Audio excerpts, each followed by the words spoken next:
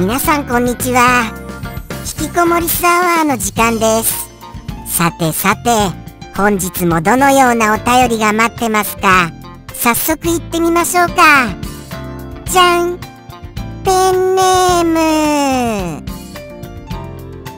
UNO さんことうのさんよりいただきました。うのさん。りまたまたありがとね。めっちゃめちゃめちゃくっちゃらくちゃらくちゃら。嬉しいですからありがとうございます。あのもうもうしばらくぶりとは言いますもののそれでもあの頻繁な方だとは思いますのでものすごい嬉しいですよ。これほどまでによくよくあのお便りをくださいまして誠に誠にありがとうございます。そして本日もメッセージを頂戴しておりますのでそのメッセージをお読みしたいと思いますね。ではでは気になるメッセージ拝見いたします。じゃん。忙しくて時間が経ってしまいましたがロサンゼルスの由来を調べてみました。入植当時の人々が我らが貴婦人ポルチウンコラの天使たちの女王の町と名付けたものを縮めて天使たちを意味するスペイン語のロサンヘレスと発音する地名から来てるみたいですね。雑学って楽しいですよね。リス君の今まで知ってる中で自信のある雑学はありますか？何とぞ。とのとのことですよ。皆様あの覚えておいでですか？僕がロサンゼルスってずっと天使のいない街だと思っていたけれど違ってたみたいですね。というようなことに対してですよ。そのご回答をくださいましたのですよ。お優しきかな。もうもうありがとうございます。本当に本当に僕の素朴な疑問にお答えくださいまして。そしていただきましたご回答皆様ご理解いただけました？これちょっとあの難しいですよね。あの入植当時というのはその地に移り住んできた方々のことです。はい。その方々がその地に名付けたのが我らが貴婦人ポルチウンコラの天使たちの女王の町とのことだそうですよ。そしてそうですね。そのちょっと気になりますよね。そのあのまずその地名の長さですか？名付けた時の長さ。そんな長さにしちゃったりしちゃいます？皆様でしたら。どうなんでしょうか？どうなんでしょうか？まあまあまあまあ僕があのー、地名を名付けるとしたらですよ。うーんまあ今の現在地のちょっと北の方にある北の方にあるちょっと珍しい石があったとしますよね。まあ大きな石がありました。その大きな石の左側の方を行くとまあまああるかな？ああやっぱり結構長くなりますね。はい。試してみたところ地名とかあの名付けるとしたら結構長くなりますよ。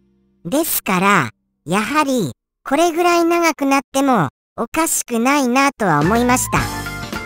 そしてそれを縮めて天使たちを意味するスペイン語のロサンヘレスああということはですよ。もうもう僕がむしろあの天使がいないとずっとずっと覚えていたのは全くもって真逆じゃございませんか。真逆じゃ。もうもう恥ずかしいですよ。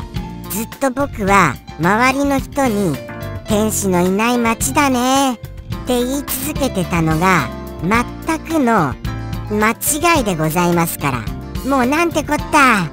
なんてこった。ああ恥ずかしいですよ。まさかのスペイン語でロサンヘレス。むしろ天使たち。はい。ものすごいいる方ですよ。完全に。ああそうなんですか。これはあの皆様。あのどうか。あでもこれも気になっちゃいましたよ。これも気になっちゃいました。あのー、略してですよ。あのー、今のあの先ほどの我らが貴婦人ポルチウンコラの天使たちの女王の町というのを縮めた場合天使たちに縮めるってありえます？そこ気になっちゃいました。僕でしたらポルツィウンコラが気になっちゃいましてどう考えても縮めた時に天使たちよりもポルツィウンコラにしちゃうんですよ。どうやって100人いたら99人の方がポルツィウンコラにしちゃいません？これどうなんですか？これ天使たちの方にしますかね？そこはまあ気になりましたがまあまあきっとあのこれ日本語だからですよね。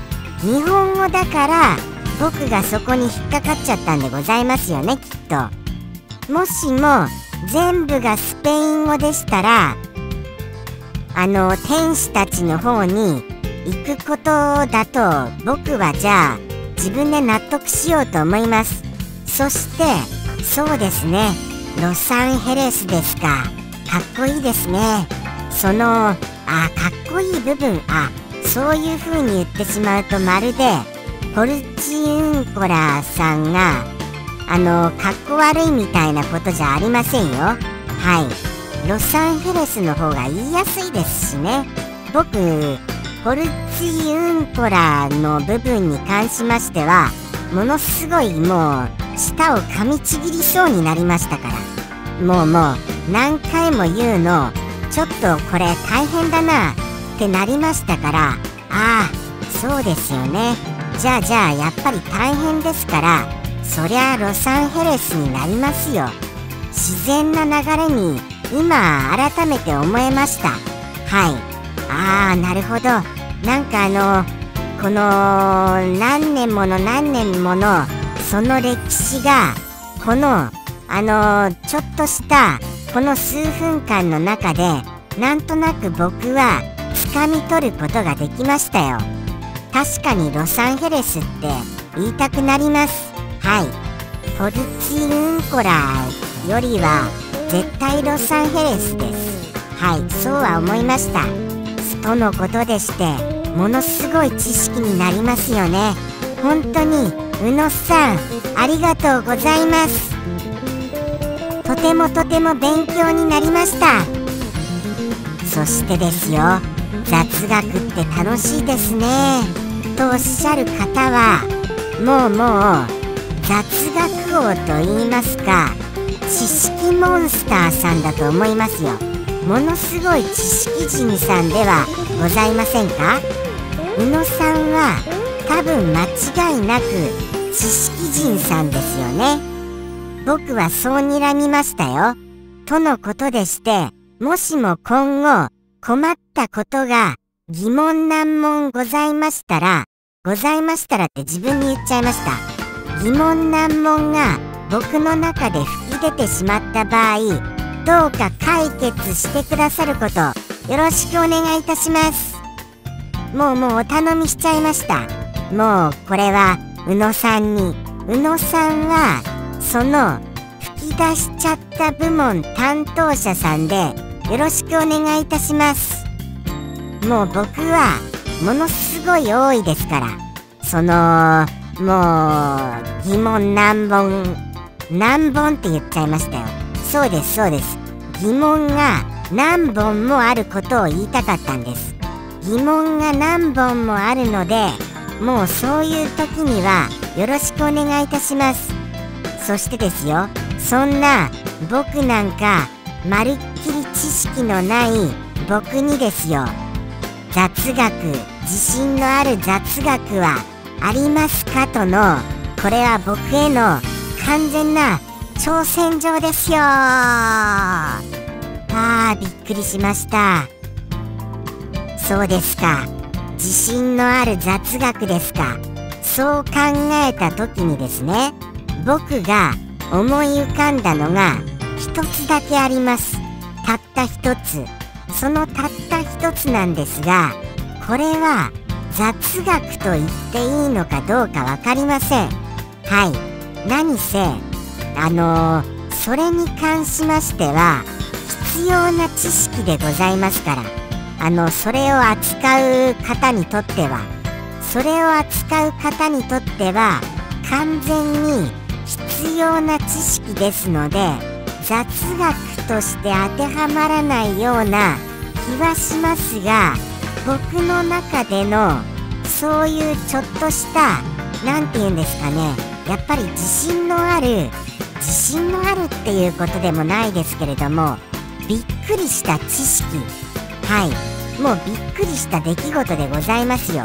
これを知った時にものすごいびっくりしましたのでそれがまず最初に浮かんじゃったんです。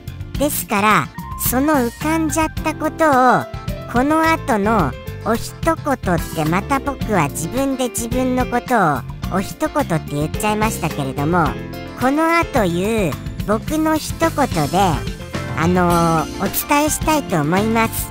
はい。ただそれはですよ。それはあくまでもそのやり方があるということをお伝えするだけで実際そのものじゃないんですよね。またややこしいこと言いましてすみません。そうなんですよ。それはそのそういうものがあるよっていうことだけで実際に僕の一言ではそれを披露することは叶わないのでございます。はい。それは実際見ないとわからないものなのでございますよ。ですから是非とも気になった方は実際目で見てください。それをはい。それを扱っている方のその技を是非ともご覧になってください。気になりました方はそれを扱ってる方を探してご覧になってください。とのことでしてややこしいこと僕は言いまくってますよね。それでもういいんでしょうかね。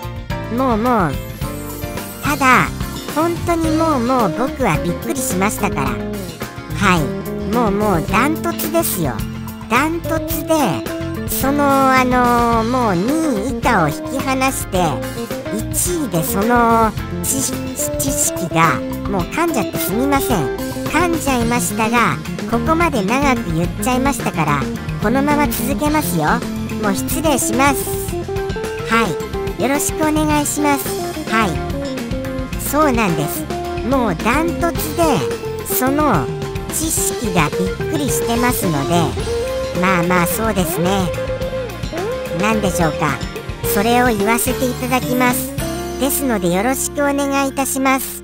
僕のイメージとしてはバーンスタン。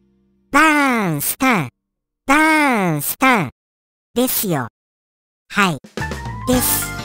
バーンスタンです。そんな感じです。ですのであのー、もうもうそれで行ってみましょうね。行ってみましょう。そしてそんなややこしい知識をここで選んでしまって本当にすみません。もしかしたらもちろんのことあのご存知かも分かりませんよね。宇野さんでしたら。はい。ですがあのー、僕の最大限の知識でございます。はい。むしろもうこれしかございません。僕の中では。これでこの知識で僕は形作られていると言っても過言ではないそんな知識です。まるでもうそれを目にした時はマジシャンを見たかのごとくです。マジシャンもしくはもうそれはもうヒーローの技ですよ。はい。ある種。ある種もうもう。はい。ヒーローの必殺技みたいなそんな感じに見えました。僕の中では。もうもう長く言ってすみませんね本当に。ここまでお付き合いくださってる方いらっしゃいます？絶対いないな。絶対いないですよ。もうもうリスちょっと長すぎるよ。今回ってなってしまわれてもうもう途中であれですよ。もうもう最後にこれあのー、飼育バーをスライドさせちゃってますよ。絶対に絶対そう思いますよ。とのことでしていきますね。宇野さんすみません長くなっちゃいまして。ではでは行きます。宇野さんへのご要望への僕の回答どうぞ。